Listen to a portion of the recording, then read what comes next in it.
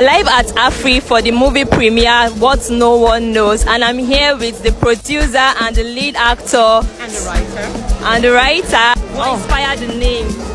Oh, the name came from not even knowing what to call it. Yeah.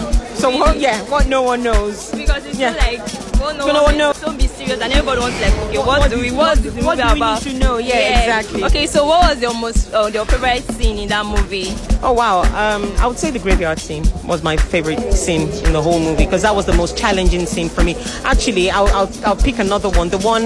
Um, just after the court room, when the court, uh, when the um, case was adjourned, and my character, you know, threw a tantrum. Yeah. I enjoy that scene as well. What do you want them to expect from Oh, expect, expect the unexpected is what I will say. Um, it's a very polarizing uh, story. So you find yourself either Team Oriomi or Team Ifelulu.